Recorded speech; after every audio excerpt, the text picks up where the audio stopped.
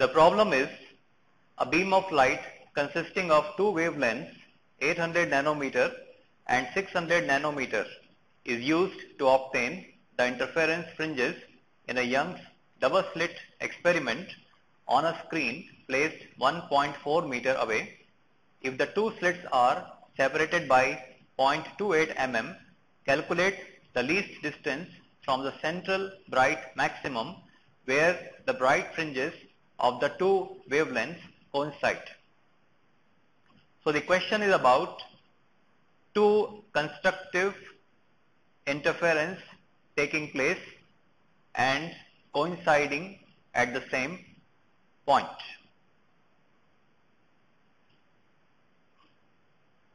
For constructive interference, Y position is given by this and since the two constructive interference are taking place at the same Y, these two will be equal. For two different wavelengths, here N1 and N2 are two natural numbers.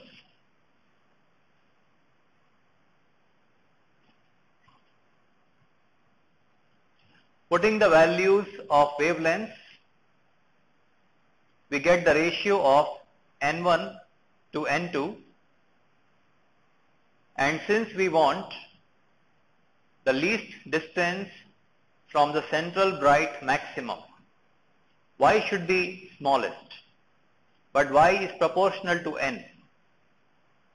So for Y to be the least, N should be the least.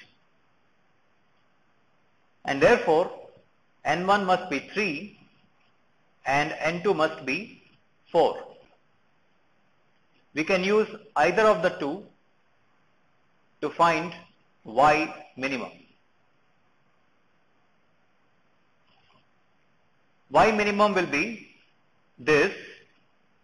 Here I have used the minimum value of N1 that is 3 and therefore lambda would be 800 nanometer. On solving, the answer comes out to be 12 millimeters.